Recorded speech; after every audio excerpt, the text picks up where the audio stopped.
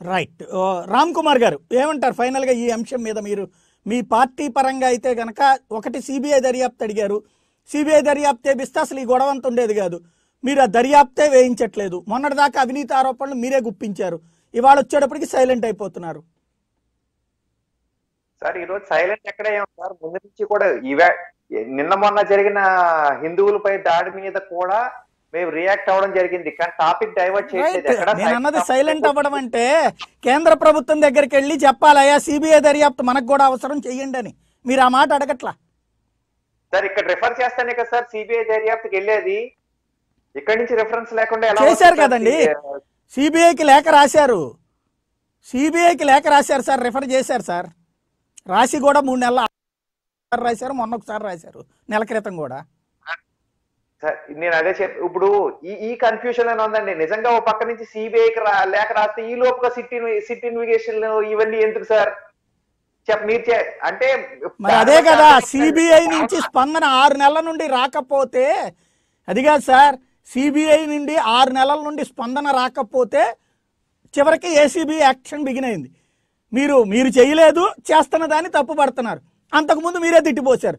అంటే కేవలం అవినీతి అనేది రాజకీయాల కోసం వాడుకుందాం తప్పించి చర్య తీసుకునే చిత్తశుద్ధి మాకు లేదు అని నిరూపించాలనుకుంటున్నారా మీరు?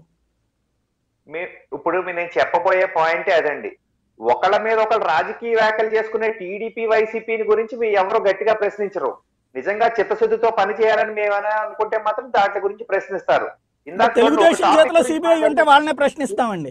సిబిఐ ఉండేటువంటిది కేంద్ర ప్రభుత్వం ఆధ్వర్యంలో మీరు ఒక రాష్ట్ర భారతీయ జనతా పార్టీగా రేపు పొద్దున తెలుగుదేశం దగ్గరికి పోటీ పడదాం అనుకుంటున్నప్పుడు కేంద్రంలో ఉన్నటువంటిది మీ పార్టీ అయినప్పుడు ఏమండి మనమే చెప్పాం పోలవరంలో అవినీతి జరిగిందని మనమే చెప్పాం అమరావతిలో అవినీతి జరిగిందని మనమే చెప్పాం రాష్ట్రంలో చాలా అవినీతులు జరిగినాయి ఏది ఫైబర్ గ్రిడ్ లాంటి వాటిట్లలో. ఇప్పుడు ఎట్లాగూ రాష్ట్ర ప్రభుత్వం సిబిఐ దర్యాప్తుకి రాసేసిందండి. మీరు చెయ్యండి అని మీరు రిప్రజెంటేషన్ మీ పార్టీ అధిష్టానానికి ప్రధానమంత్రికి ఇవ్వాలి కదా. ఏమి ఇవ్వకుండా రెఫరెన్స్ లేదంటున్నారు రెఫరెన్స్ ఓపెన్ సీక్రెట్ ఇది. సీక్రెట్ కాదు ఓపెన్గా జరిగింది. పత్రికల్లో అన్నిట్లో వచ్చింది. భారతీయ జనతా పార్టీ దాని మీద స్పందించట్లేదు. కనీసం మీ అధిష్టానాన్ని అడగట్లేదు. ఇప్పుడు మీరు చెప్పారు కాబట్టి ఖచ్చితంగా దానికి ఉందో లేదో ఏం జరుగుతుంది అనే దానికి నేను మీకు రిప్లై కూడా పంపిస్తాను సాయి గారు. ఈ చర్చ అయింది అంటే వెంటనే మా అధిష్టానంతో మాట్లాడి. నెక్స్ట్ ఇంకొక పాయింట్ ఏంటంటే భూముల కోసం వెళ్తున్నారు. మీరు ఇందాక అడిగినట్టు ఆవు భూములు లేకపోతే భూ పేదలకు భూములకు డిస్ట్రిబ్యూషన్ కోసం అని. మీరు అన్నట్టు పాయింట్ బై పాయింట్ ముందు ఎక్కడెక్కడైతే క్లీన్గా ఉన్నాయో అక్కడ ఇచ్చేయాలి.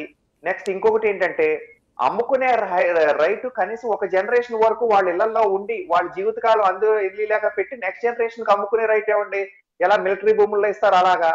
ఇవన్నీ ఆఫ్టర్ ఎఫెక్ట్స్ ఏం జరుగుతున్నాయి అంటే ప్రజలకి వ్యవస్థల మీద. ప్రభుత్వాల మీద నమ్మకం కోల్పోయి ఈవేళ మంచి ఉద్దేశంతో గవర్నమెంట్ మెడికల్ కాలేజ్ పెడదామని చూస్తుంది. సెంట్రల్ గవర్నమెంట్ కూడా దానికి ఎయిడ్ ఇస్తుంది.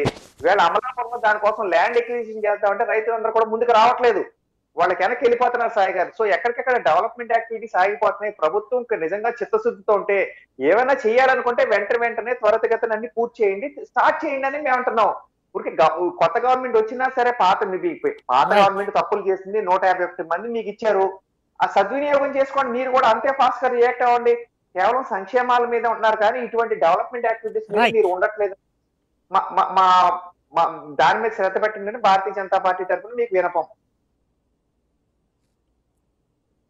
రైట్ రైట్ ఓకే లక్ష్మణ్ గారు మీరేమంటారు? ఈవేళ సజ్జల రామకృష్ణారెడ్డి గారి కామెంట్స్ కొన్ని చదివి వినిపించాను ఇందాక నేను మీకు. మీకు అది ఏ ఏ కోణంలో అనిపిస్తోంది? ఇక్కడ న్యాయ వ్యవస్థను మనము అంత సులభంగా తప్పు పట్టడానికి వీలు లేదు. ఉండవచ్చు. ఒక మనిషి ఈ మన మన రాష్ట్రం నుంచి పై స్థాయి వరకు వెళ్ళి ఆ న్యాయ వ్యవస్థలో పనిచేస్తూ ఉండొచ్చు. అంత మాత్రాన ఆయన ఏదో చెబుతూనే ఇక్కడ కూడా రాష్ట్ర స్థాయిలో పై వ్యవస్థలో ఉన్నటువంటి న్యాయ అధిపతులు ఆయన చెప్పే మాట విని వీళ్ళు సమస్యల్లో ఇరుక్కుంటారని నేనైతే భావించడం లేదు. ఇక్కడ రాజకీయ ఆరో ఆరోపణలు చేసినట్టు ఒకరికొకరు చేసుకున్నట్టు న్యాయ వ్యవస్థ మీద అంత సులభంగా ఆరోపణలు చేయటం అనేది సబబైంది కాదు. ఇప్పుడు స్టే అన్నది తాత్కాలికం. స్టే మీద కూర్చుని కూడా అప్పీల్ పోతారు. లేదా స్టే వెకేట్ చేయమని చెప్పి అదే కోర్టును ఆర్గ్యుమెంట్లు మొదలవుతాయి స్టే ఎత్తేసే అవకాశం కూడా ఉంటుంది. ఈ ఈ- అది అది టెక్నికల్గా మీరేమని ఇప్పుడు పర్టికులర్ ఇష్యూలో ఓ పలానా కార్పొరేషన్లో లేదా పలానా డిపార్ట్మెంట్లో ఇదిగో పది లక్షల పనిని కోటి రూపాయలు చెల్లించారు. ఇదిగో ఇది ఆధారము అనేటువంటిది దాని మీద దర్యాప్తు సంస్థలకు అప్పగిస్తే అది ఒక రకంగా ఉండదు. ఇప్పుడు ఏమైందంటే కేబినెట్ సబ్ కమిటీ ఇప్పుడు మీరు ఒక పాయింట్ చెప్పండి లక్ష్మణ్. ఒకటే అయిపోయింది. రివ్యూ అన్ని అన్నిటి మీద రివ్యూ చేయ చేసి దాని మీద రిపోర్ట్స్ ఇవ్వండి అంటే అన్ని సమీక్షించండి అని టోటల్గా సమీక్షించండి అనేది చెప్పడం ఏదైతే ఉందో అది న్యాయ వ్యవస్థ ఏంటంటే అభ్యంతరకరంగా స్వీకరించు. అంటే ఒక ప్రభుత్వం తీసుకున్న నిర్ణయాలు ప్రతిదీ మీరు సమీక్షిస్తారా? ఏంటి ఈ ప్రభుత్వానికి అంత అన్ని తప్పులు జరిగి ఉంటాయా అనేటువంటి ఒక అభిప్రాయం వచ్చి ఉండొచ్చు అని నేను భావిస్తున్నాను న్యాయ వ్యవస్థకు. ఇక్కడే ఇక్కడే ఇక్కడే మీరన్న పాయింట్లోనే. ఇప్పుడు ఎన్నికలకి ముందు ప్రభుత్వం వెళ్ళేటువంటి అంటే ఒక ఎజెండాతో వెళ్తారు. శాసన వ్యవస్థ అనేటువంటిది ప్రజల చేత ఎన్నికయ్యేటువంటి ఒక ఎజెండా అప్పుడు అవినీతి జరిగింది. అన్నిట్లలో అవినీతి జరిగిందని అన్ని పార్టీలు ఆరోపించినాయి. తెలుగు ఆ రోజున వైసీపీ ఆరోపించింది భారతీయ జనతా పార్టీ కమ్యూనిస్టులు కాంగ్రెస్ అందరూ తీవ్రమైన ఆరోపణలు చేశారు. రాజధాని మీద చేశారు ఫైబర్ గ్రిడ్ మీద చేశారు నీళ్ళకు సంబంధించినవి చేశారు అట్లాగే నీరు మీరుకి చేశారు నీరు చెట్టుకు చేశారు అన్నిటి మీద ఆరోపణలు చేశారు. ప్రభుత్వం ప- మారగానే ఆ ఆరోపణలన్నీ వదిలేసేసి ఎవరైతే కొత్తగా అలాగా ప్రజలు ఇవాళ అన్ని సీట్లు ఇచ్చి గెలిపించారు ఆనాడు అవినీతి మీద విచారణ చెయ్యమని ప్రజలు కోరుకున్నట్ట అవన్నీ అలా వదిలేసేసి మళ్ళీ మీ పని మీరు చేసుకోండి మీ దోవన మీరు కొంచెం కొత్తగా అవినీతి చేసుకోండి లేదంటే కనుక మీరు అవినీతి చేయకుండా చూడండి అని చెప్పినట్ట ప్రజలు? అది అది అలా అలా అలా ప్రజలు చెప్పేటువంటి అవకాశమే లేదు కానీ న్యాయ వ్యవస్థ కూడా అలా చెప్పడానికి లేదు. వాళ్ళు అవినీతి చేసిన దాన్ని నిగ్గు తేల్చాల్సిందే మీరు అవినీతి చేయకుండా కూడా ఆపాల్సిందే. రెండు రెండు జరగాల్సిందే.